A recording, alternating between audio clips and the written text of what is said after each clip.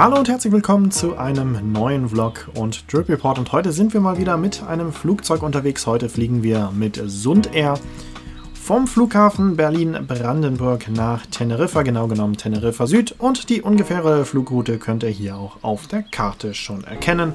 Da wir gegen 8.30 Uhr starten sollten, ging es schon sehr früh am Morgen zum Flughafen. Kurz nach 5 waren wir schon im Bus in Richtung Flughafen da man etwa drei Stunden vor Abflug da sein sollte, was sich dann allerdings als unnötig herausgestellt hat, denn der Check-in-Schalter hat nur zwei Stunden vor Abflug geöffnet, das heißt wir standen dann eine Stunde am Schalter und haben gewartet in einer längeren Warteschlange da natürlich alle anderen auch möglichst früh da sein wollten. Es gibt leider keine Automaten hier und bei Sunte ist auch kein Web-Check-In möglich.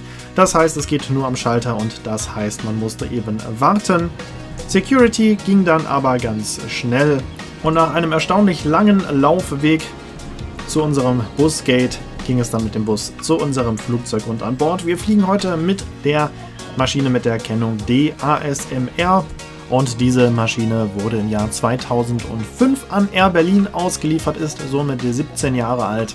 War dann 2012 zwischenzeitlich bei OLT Express, dann wieder zurück bei Air Berlin und von 2016 bis 2017 dann bei Small Planet Airlines Germany und seit 2018 ist sie dann bei Sund Air. Für uns ging es dann erstmal zum Enteisen, denn die Maschine stand über Nacht am Flughafen. Das war auch der Grund, warum wir eben eine Außenposition hatten und nicht direkt an einer Fluggastbrücke standen.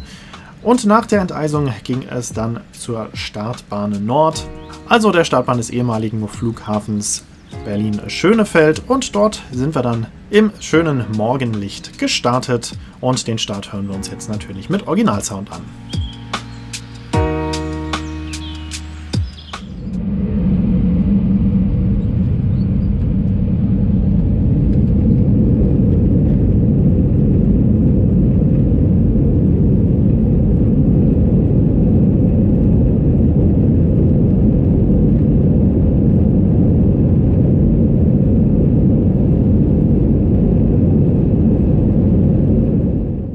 Unsere Flugzeit heute waren knapp 5 Stunden und wie ihr schon gesehen habt, handelt es sich bei dieser Maschine um einen regulären Airbus A320, den man also auch eher auf Kurz- und Mittelstreckenflügen so vorfindet. Das Ganze 5 Stunden lang ist natürlich nicht so komfortabel. Die Maschine ist also ganz durchschnittlich ausgestattet mit einem eher engeren Sitzabstand, aber man muss auch dazu sagen, ihr habt es eben gesehen, dass es recht eng war. Ich bin auch 1,95 groß, also selbst ich hatte noch Platz, aber es war eben eng. Wir saßen auch relativ weit hinten im Flugzeug, wo die Sitzreihen ja in der Regel auch in dieser Maschine immer etwas enger sind. Auf Dauer bei 5 Stunden wird es dann doch irgendwann etwas unbequem. Und vor allen Dingen muss man auch selbst auf jeden Fall für Ablenkung sorgen, denn es gibt kein Board-Entertainment, so wie das früher mal noch auf Flügen Richtung Kanaren der Fall war, wo noch Spielfilme liefen oder ähnliches. Das gibt es nicht, also unbedingt selber etwas mitbringen. Das gleiche gilt für Getränke und Speisen an Bord. Im Flugpreis ist bei Sund noch nichts inklusive. Das heißt, die Getränke und Speisen muss man dann an Bord erwerben. Ihr habt hier kurz auf die Karte gesehen. Die Preise sind sehr günstig für Flugverhältnisse. Also eine kleine Flasche Wein zum Beispiel 6 Euro, eine Flasche Wasser 3 Euro, ein warmes Gericht 7 Euro. Also das sind wirklich sehr humane Preise zumindest auf Flugzeuge bezogen und auch der BER ist nicht gerade günstig, also da kann es durchaus passieren, dass es im Flugzeug günstiger ist, die Flasche Wasser zu kaufen, als sie draußen im Duty-Free-Shop zu kaufen. Da lohnt sich also auf jeden Fall mal der Preisvergleich. Ich hatte mich dann dafür entschieden, ein Buch zu lesen und habe dann so mit einem kleinen Gläschen Wein und einem guten Buch den Blick auf die Alpen und die Pyrenäen genossen, bevor wir dann über Spanien geflogen sind. Und dann ging es langsam auch schon aufs Meer hinaus. Ungefähr die letzten zwei Stunden des fünfstündigen Fluges eben dann über Wasser. Hier sehen wir auch einmal das Routennetz von Sundair. Sundair, eine Fluggesellschaft, die 2016 gegründet wurde, mit Sitz in Stralsund, daher auch der Name Sundair.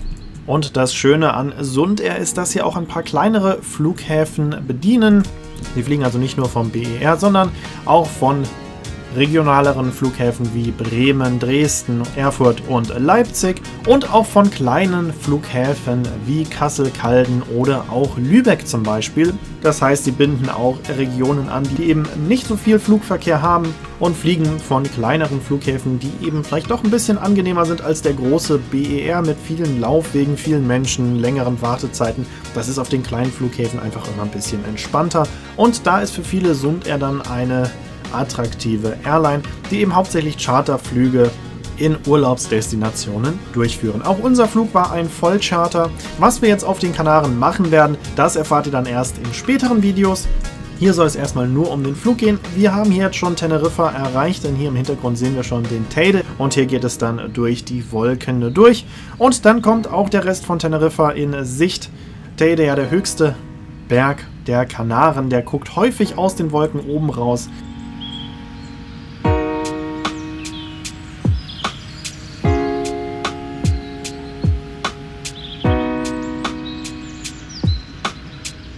Hatten hier jetzt eine relativ dünne Wolkenschicht, war gutes Wetter, sodass wir jetzt hier schon den ersten Blick auf Teneriffa erhaschen können. Und hier waren wir dann auch endgültig raus aus den Wolken. Und jetzt für den Rest des Fluges bis zur Landung haben wir dann einen schönen Blick auf die Kanareninsel. Abflug war eben gegen 8.30 Uhr. Das heißt, wir sind in der Mittagszeit gelandet und da fast alle Flüge, die auf die Kanaren gehen, morgens an ihren Ausgangspunkten starten und mittags landen, ist das auch die Rush Hour hier am Flughafen. Da ist richtig viel los. Trotzdem und auch trotz des Enteisens sind wir sogar ein bisschen vor der geplanten Zeit hier auf Teneriffa gelandet und hier schauen wir uns jetzt erstmal die Landung an.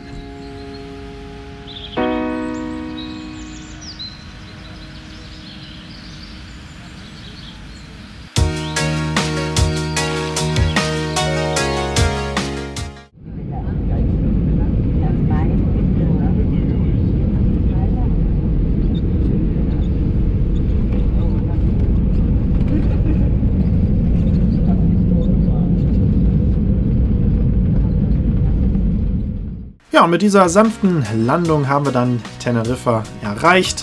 Ihr seht hier schon ordentlich Flugverkehr, viel los. Wie gesagt, das ist eben die Rush Hour. Aber trotzdem hat das alles gut funktioniert. Auch das Warten auf das Gepäck hat nicht lange gedauert, da der Flughafen hier eben durchaus darauf eingestellt ist. Was aber nicht heißt, dass es ein Flughafen ist, der platzmäßig auf die Menschenmengen eingestellt ist. Vom Ablauf her funktioniert es gut, aber man muss sich auf jeden Fall darauf einstellen, dass es ziemlich voll werden kann hier am Flughafen von Teneriffa, vor allen Dingen eben um die Mittagszeit. Das war es erstmal für dieses Video. Ich hoffe, es hat euch gefallen. Hier könnt ihr sehen, von wem die Musik stammt und wann das nächste Video kommt. Wie immer sage ich vielen Dank fürs Zuschauen. Würde mich sehr über Likes, Kommentare, Abos oder auch einen geteilten Link sehr freuen. Und wir sehen uns dann im nächsten Video wieder.